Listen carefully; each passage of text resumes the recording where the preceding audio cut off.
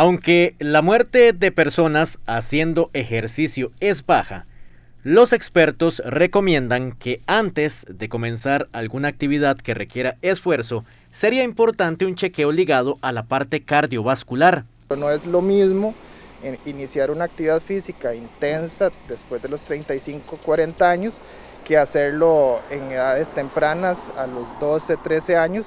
Eh, no es lo mismo tener factores eh, hereditarios, por ejemplo, que mi tío, mi papá murieron muy tempranamente, que, que no tenerlos. No es lo mismo ser hombre que ser mujer, no es lo mismo tener un colesterol muy, muy elevado.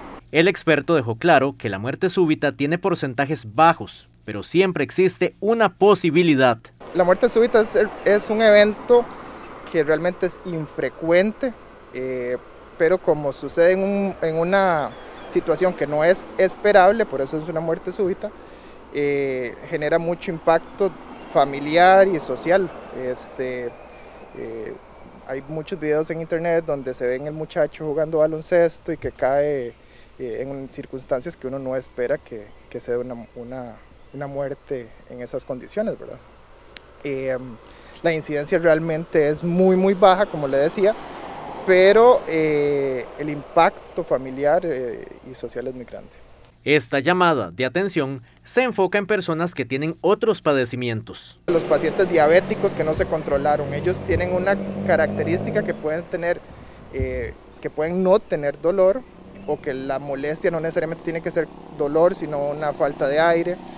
Entonces, como retomando tal vez el tema, nosotros en general si buscamos detectar condiciones que sean más eh, proclives de tener un, evento cardíaco adverso.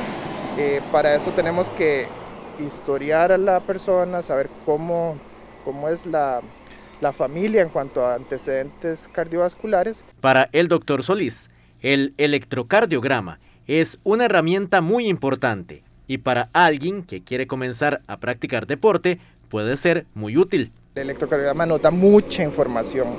Entonces, por supuesto, y si estamos hablando de que vamos a hacer ejercicio, eh, jóvenes o adultos, es muy válida la recomendación. Llegar con el médico de confianza con base en mi perfil de riesgo, poder así establecer cuáles son las medidas que vamos a, iniciar para detectar, para detectar eh, algún riesgo de, tener un problema cardiovascular. Y es que el experto recordó que cada persona tiene que tener muy claro su dosis de ejercicio para evitar complicaciones. El ejercicio es, es una medicación, es como es una terapéutica, entonces como tal amerita una dosis establecida para cada persona, no es lo mismo para uno que para otro. Entonces, eh, conocer bien a quién le estamos dando esa dosis de ejercicio y a establecer la dosis apropiada de ejercicio para cada persona. Siempre es recomendado hacer ejercicio, siempre, incluso con condiciones cardíacas que antes se consideraban de mucho riesgo. Ahora ha ido variando eso y sí, y sí se motiva a las personas a hacer ejercicio. La prevención siempre será fundamental para evitar riesgos.